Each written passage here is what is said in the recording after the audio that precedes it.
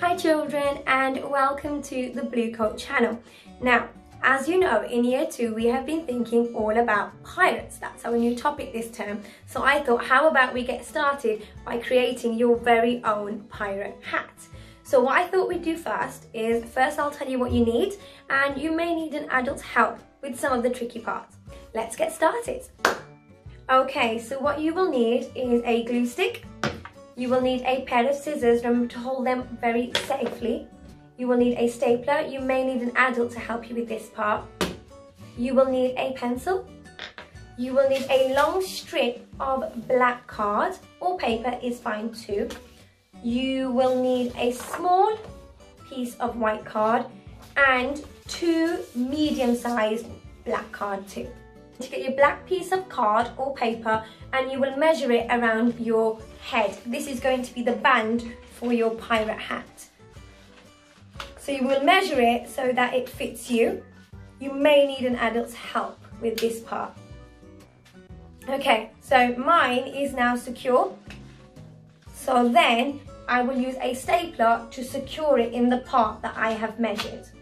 So what I will do is I'm just going to staple it now. You could staple it twice if you feel it will be better for you. Now for this part here, you can either tape it or you can staple it again or you can just cut the extra piece off. I'm just going to staple mine together. And then your band is complete.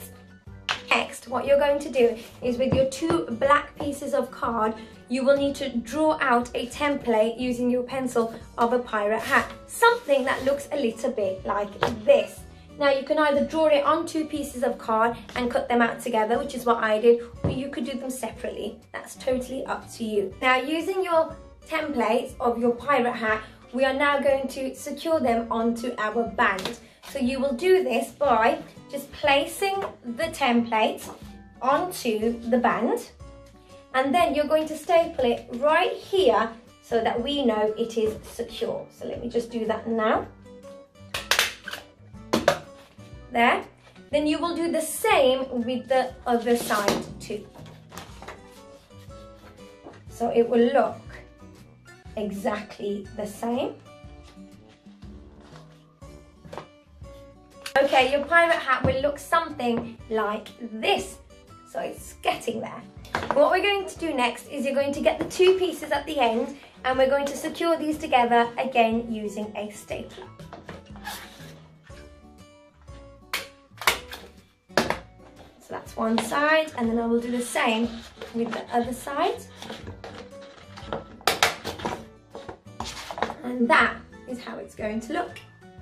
Okay, what we're going to do next is using your pencil and your white card, you will draw a skull and some bones just to decorate your pirate hat a little bit. So I've had a go and I have drawn a skull and I've tried to have a go at some bones too. So what I'm going to do is I'm just going to cut them out and show you what they look like.